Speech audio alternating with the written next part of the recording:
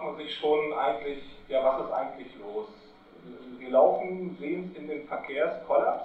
So, wir als Zeitung können natürlich nicht mehr, nicht weniger als darüber berichten, aber wir können auch Veranstaltungen machen wie diese, wo wir uns einfach äh, dieses Thema. Es geht darum, dass, es darum dass, dass wir begreifen müssen, dass wir eine, eine Vorsorgepflicht, eine Fürsorgepflicht haben. Genauso sehe ich das auch bei der, ähm, bei der Bahn bzw. beim öffentlichen Personennahverkehr. Wir dürfen doch nicht die Augen davor verschließen, dass ähm, diese Region ähm, mit allein in Zings 330.000 Gästen bei 1,8 Millionen Übernachtungen eine Möglichkeit haben muss, anders erreicht werden zu können als nur mit dem Auto. Das muss das überzeugen, was es hier hat.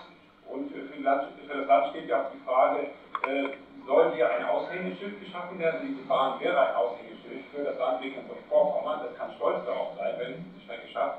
Oder will das Land hier ein Armutszeugnis abgeben? Das will es doch Wenn wir sagen als Region, bei uns ist es aber anders. Wir wollen sogar die Wiederinbetriebnahme einer Bahn, dann müssen auch wir Argumente dafür haben. Ich kann mir sehr gut vorstellen, dass wir in der Region uns äh, an einen Tisch setzen und darüber nachdenken, wie wir, wie wir im Kontext der, der Gasbahn der Entstehung, und ich glaube ja daran, dass wir das schaffen, weil das Land, ich traue dem, dem Land einfach diese, diese Weitsicht und diese Ich hoffe, ich werde nicht eines Besseren gelehrt, dass wir eben über Kurkartenrabatte oder ähnliches. Wir sehen das in unserem, in unserem Ort ziemlich deutlich. Wir haben jetzt äh, Mitte Mai, da gab es schon Zeiten, da waren wir ziemlich allein. Jetzt haben wir um die 8.000 bis 10.000 äh, Menschen in unserem Ort. Wenn man das in einen Kontext stellt und sagt, liebes Land Mecklenburg-Vorpommern, jetzt bin ich mal artig, Du kannst doch nicht auf der einen Seite über, dein, über das Eisenbahnbundesamt und mit allen anderen Behörden in Zingst und demnächst in Prero eine neue Strecke feststellen und die Anbindung zumachen.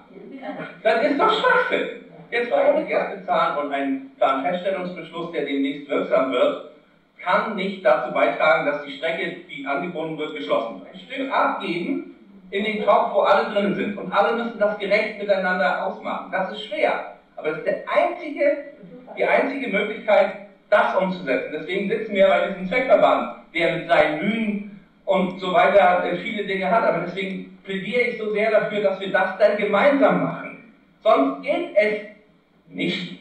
Was mich so ein bisschen gewundert hat, ist, dass der große Protest, also das ist ja sehr beeindruckend, viele Leute äh, Unterschriftenlisten, Mahnwache und viele Akten auf das Fest. Vielen Dank.